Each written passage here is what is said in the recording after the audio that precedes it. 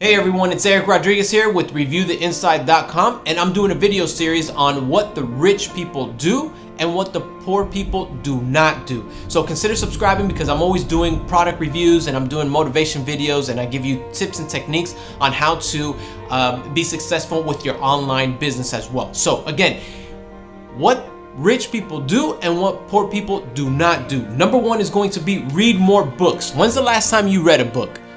Think about that. This is my favorite book. I highly recommend it. It's very, very powerful. It's How to Win Friends and Influence People.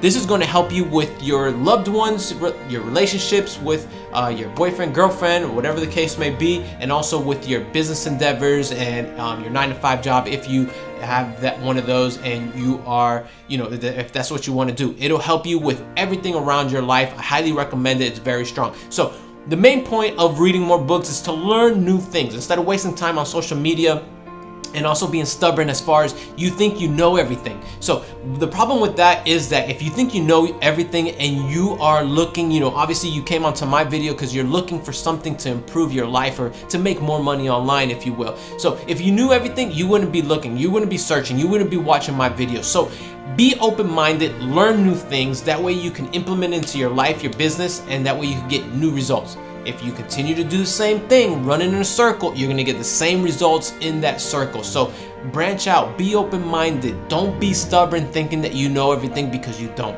Even the smartest person in the world you know they don't know everything we learn something new each and every day so try to accomplish that goal at least learn five new things per day that was going to help you and it's going to be valuable and make you more money that's the name of the game so think about that